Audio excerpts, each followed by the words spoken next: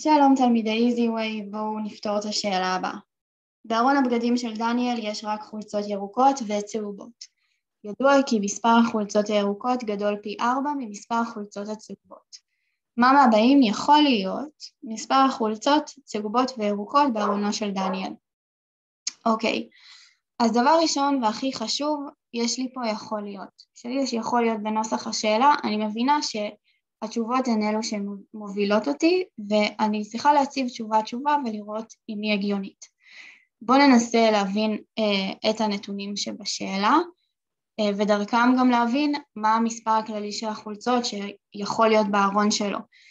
אה, אז נתון לי שהיחס בעצם בין החולצות הירוקות לחולצות הצהובות.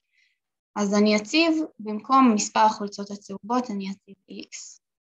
עכשיו נתון לי שמספר החולצות הירוקות גדול פי ארבע ממספר החולצות הצהובות, אז אני צריכה להכפיל את מספר החולצות הצהובות פי ארבע. זה בעצם יהיה 4x. עכשיו רוצים שאני אמצא כמה חולצות באופן כללי יש בארון של דניאל, זה אומר שאני צריכה לסכום את שני הנעלמים ואני אקבל 5x. זה אומר שמספר החולצות באופן כללי שיש בארון של דניאל הוא 5x. עכשיו מה זה אומר בעצם המספר הזה? המספר הזה זה כמו להגיד 5 כפול x, זאת אומרת שאם אני אכפיל את x ב-5 אני אקבל את המספר של החולצות.